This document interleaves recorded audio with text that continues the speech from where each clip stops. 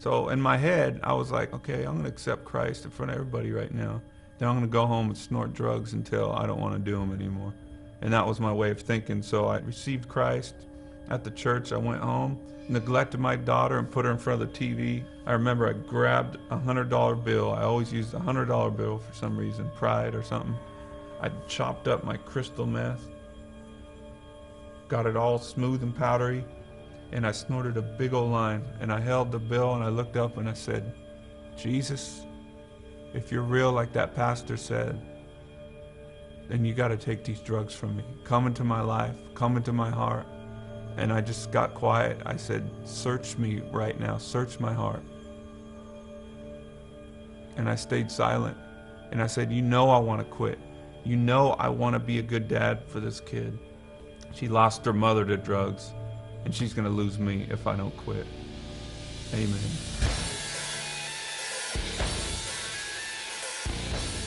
There's a high when you go on stage and you see all these people like just loving your music and loving you and stuff, and there's these girls and all these people going ah, worshiping me. When you see all those people just going nuts for you, it's like, you know, it, it puffs you up inside. You're like, you know, I'm important.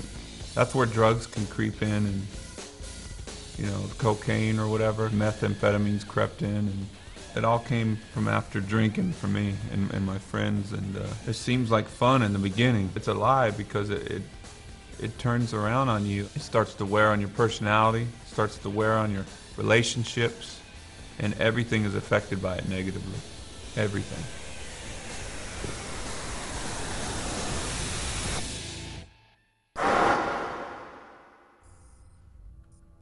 There was a, a few times where life seemed good. My daughter Jennea, she came into the world, and I was like, it was just such a, a euphoric feeling.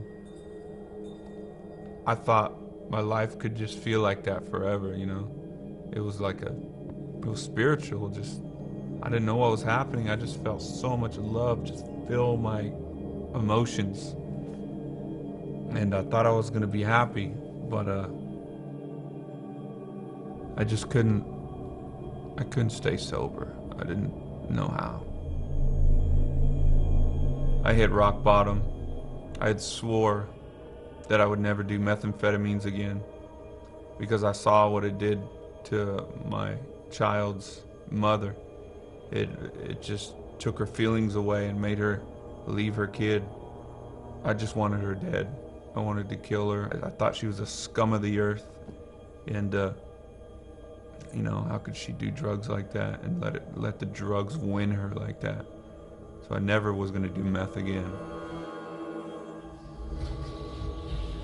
I ended up with a everyday crippling addiction to methamphetamine and everything that I said about my ex-wife came true for me. I sunk to the lowest gutter I could ever think of. I would spend time with my kid and I would still be on it because I needed it to function. I'd get up in the morning, have a peanut butter and jelly sandwich and snort meth and then take her to school or whatever. It was just, I, was a junkie. I started losing my mind. This guy would show up at my house with like a gun and stuff. And then I ran out in Europe, had my drug dealer just crazy send me drugs through through the mail. I'd be tweaked out in my hotel room watching this package come from the U.S. It's just nuts. My life just was like spinning out of control. Jennea had come out on, a, on one of the tours in the U.S. I just remember her skipping around the house, singing one of our Korn songs called Adidas. All day I dream about sex. And I'm like going, what am I doing? I'm a junkie.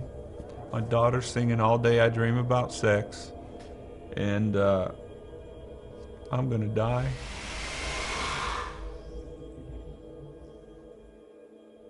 Father? My uh, real estate broker, Eric, he uh, he said, Brian, I don't mean to be weird with you. I hope you don't take this the wrong way, but I, I felt the scripture like jump out at me. I've never done this before, you know, so I don't really know how to do this, but I felt like this would mean something to you. It's Matthew 11, 28.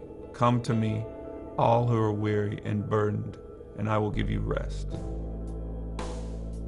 I remember all tweaked out. I looked up in the dictionary, wary. I looked up burdened, and I just I pulled the scripture apart and I was like, oh, I'm, I'm weary and burdened and I need rest for my soul. And uh, I didn't know if it was real, but you know, they invited me to church a couple couple weeks later, and I had received Christ at the church. I went home, neglected my daughter, got it all smooth and powdery. Jesus, you got to take these drugs from me. Search me right now. Search my heart.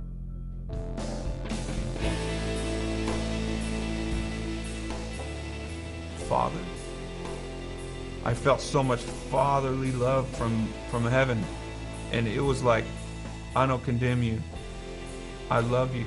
I love you. It was just love, love. And instantly, that love from God came into me. It was so powerful that the next day I threw away all my drugs and uh, I quit Korn. I was like, I'm quitting Korn and I'm going to raise my kid because my kid, like I got the love from God coming to me, and then it came out of me to my kid. It changed me. My heart was changed like that, and I was like, Jennea, Daddy's gonna be home with you all the time. I'm quitting my career, and her face lit up, and she's like, for me, you know, she felt so special, and uh, God used her to save me, to save her life later on. My dream came true way more than I dreamt about. I got I made more money. I played bigger shows. I mean, houses, cars. I tried drugs, I tried sex, I tried everything to try to get pleasure out of this life. And I thought that I could fulfill my life with all this stuff by by having my dream come true and it came true. But it didn't fulfill it. When Christ came in, that feeling he gives you the gift of understanding life, which is everything was created for Christ and by Him, and we're created to be with Him. And it's the most incredible feeling because you're where you belong. And contentment is given to you in life because you don't have to look anywhere else.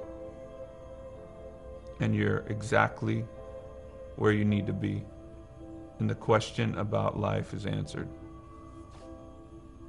I'm Brian Head Welch, and I am second.